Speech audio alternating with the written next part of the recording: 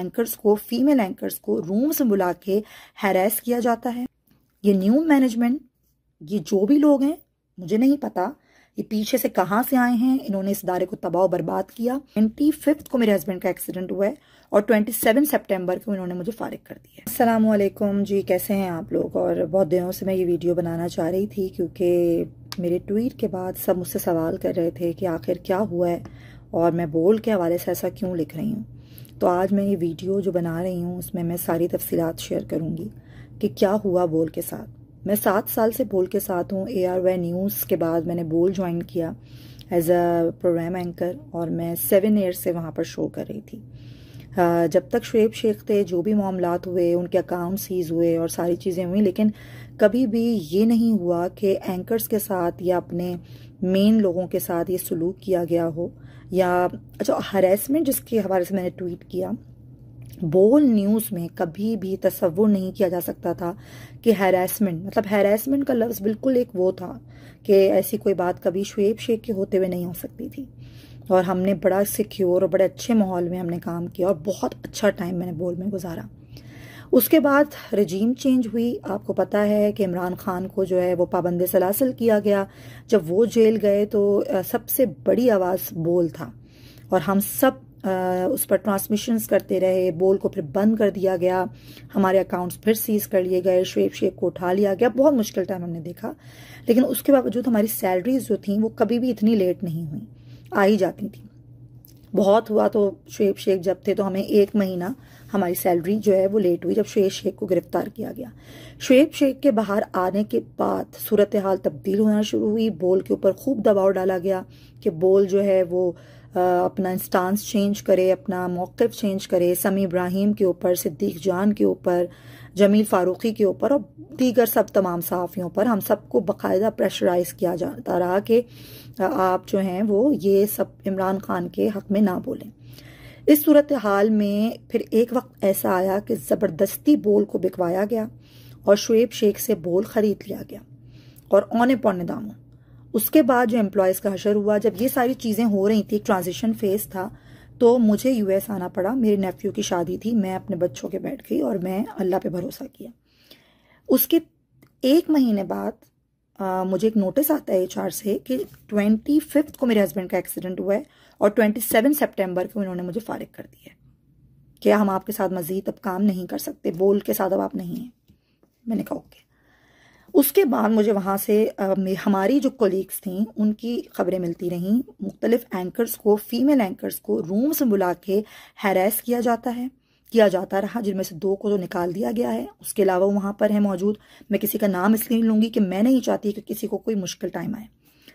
उनको कमरे में बुला के हैरास किया जाता रहा। उन पर चीखा गया उनको डराया गया उनको धमकाया गया और फिर ये कहा गया कि अगर ये बात जाके किसी को बताई तो तुम्हारा बहुत बुरा हशर होगा।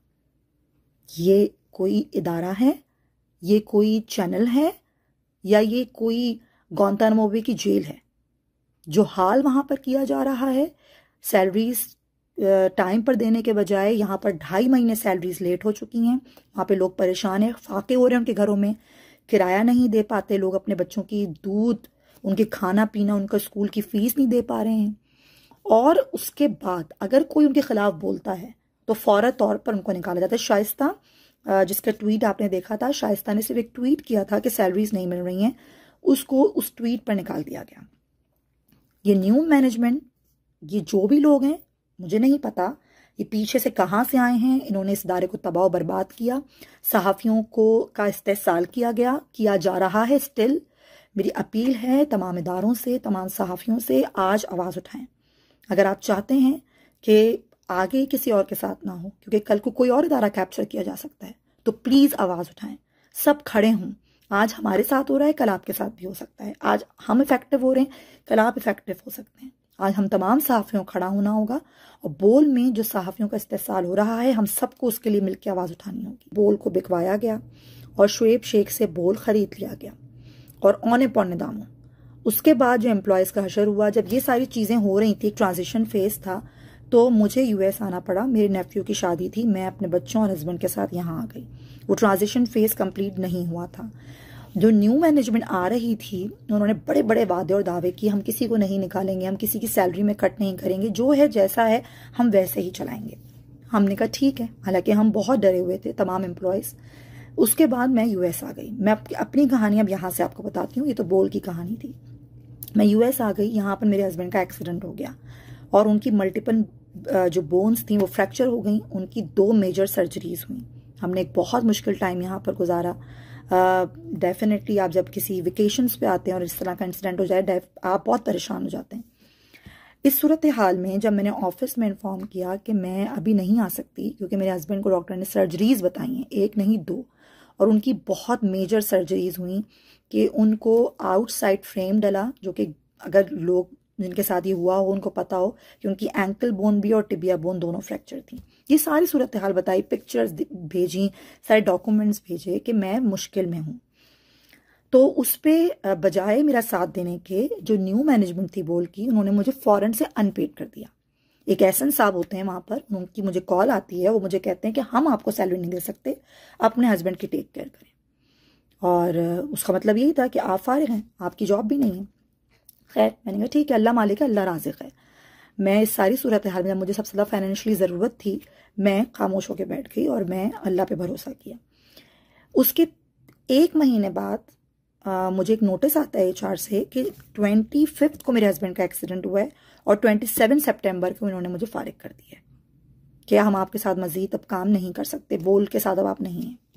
मैंने कहा ओके। उसके बाद मुझे वहाँ से आ, हमारी जो कोलीग्स थी उनकी खबरें मिलती रहीं। मुख्तलिफ़ एंकर्स को फीमेल एंकर्स को रूम से बुला के हैरेस किया जाता है।